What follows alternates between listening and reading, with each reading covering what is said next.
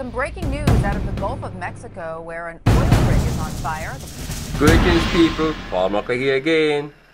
Today's November 16, 2012, 11.42 p.m. Eastern Time.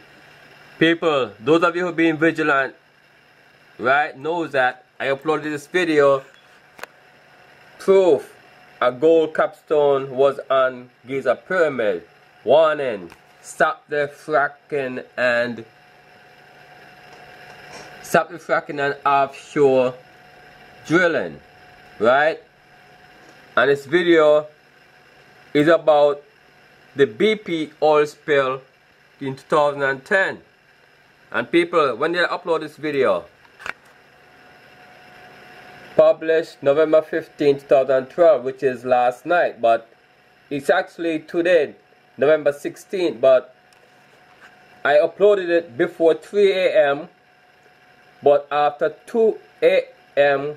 Eastern time and in California it's still November 15th because they're three hours behind us so this is published California time because YouTube is in California so when you upload your video it upload on YouTube time so I upload this video around 2.30 a.m.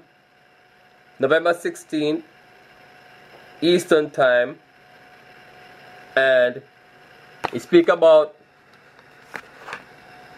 the BP oil spill okay so it's about BP pled guilty to manslaughter for the tragedy in the Gulf and all they have to do to stay out of prison is to pay a fine. Alright?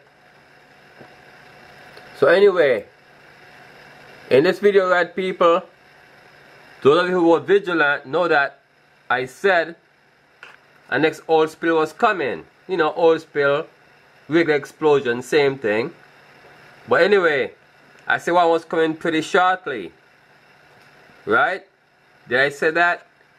Let me get to the part where I say it just to see if I did say it, you know? I don't want to spread no tales. So let me see where I did say it. Okay, there's gonna be another one. And this time Oh, I did say it, huh? Hold up. Think that you're gonna get away with paying money. Watch. Watch. The, the next the next oil spill gonna be on you. And it's coming soon. I could predict that. Okay, there's gonna be another one. And this time, this time, be careful that one of you not end up with this time. See if you're gonna pay your way out of it. So people hear this story, right? Of how the oil spill went down and what the consequences are gonna be. Alright? Please share. Okay? We should all use our spirit. Okay? We gotta use our spirit against these people, against these demons, okay? Our spirit. We gotta use against them. We gotta push earth, wind, fire, and water against them with our spirit. Okay, so so people, the point being right, I said there's gonna be another oil spill. Oil spill, rig explosion, same thing. And so I uploaded this video this morning around 2.30 a.m. And then I got up. I thought no one was gonna like it, but I was wrong, you know people actually like it. So anyway, the point being, people, I went I, left, I went to Boston, you know, to my friend's house to help him, you know, build up his kitchen, remodel his kitchen. And while I was down there, I heard a breaking news. CNN breaking news. Oil rig explosion in the Gulf. I'm like, what? Nah, this can't be. and I laugh. Not, not laugh at the victims, but laugh at the fact that it never even come so soon. I didn't expect it to come this quickly. So which means people, the intuitions are speeding up. The explosion today, that was just a warning, a prelude. Sorry for the victims now. But many more will have to suffer. Many more will have to die. Our freedom is the reason why. So anyway, people, hear the news about the explosion that took place in the Gulf today. Okay? So let's keep pushing earth, wind, and fire against these people who are destroying our earth, okay? Earth, wind, and fire, which is the law of attraction, the law of deliberate intent, the law of allowance, and the law of harmony and balance. Earth, wind, fire, and water. Let's push those towards them and use our spirit to knock down their towers and knock down their rigs and blow them up. One love, one heart, one destiny to all sons and daughters of humanity.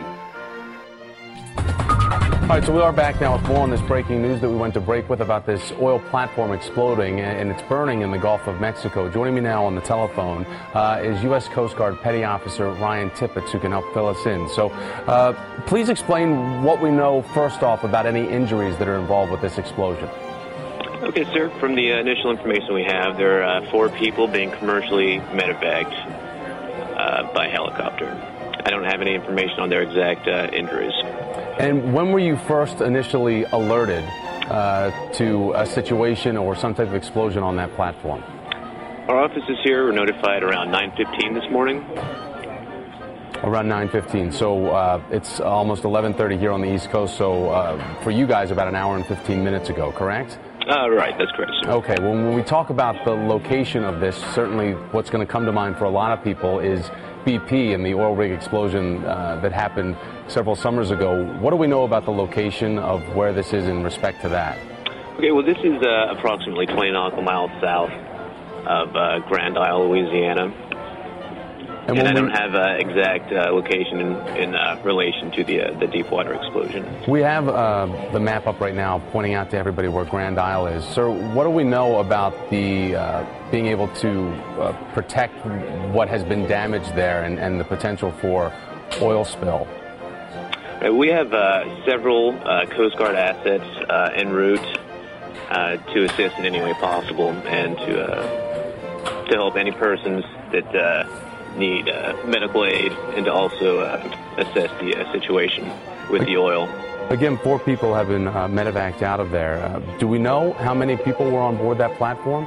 Uh, no, we can't confirm how many were on board. Okay, but again, four people have been taken. when we talk about the the what could have been the catalyst to this explosion, is there any information on that? no, sir. We don't have any any information on what caused it. Okay, well, we're going to let you get back to work. Thank you so much for joining us, uh, Ryan Tippett from the U.S. Coast Guard. We appreciate it. But again, just to go over the breaking news that we're learning from the Coast Guard, uh, this confirmation that an oil rig has exploded there uh, in the Gulf of Mexico, uh, in the Grand Isle area uh, in Louisiana. Four individuals have been medevaced off of that platform. Uh, say again? two people Okay, learning that two people are missing. Uh, as we heard there from the Coast Guard, we don't have an accurate number of how many people were actually working on board that platform or what the situation was leading up to the explosion. Uh, but again, getting the information now that two people are missing and four have been medevaced uh, to the hospital. But we'll try to work more information on this and bring it to you.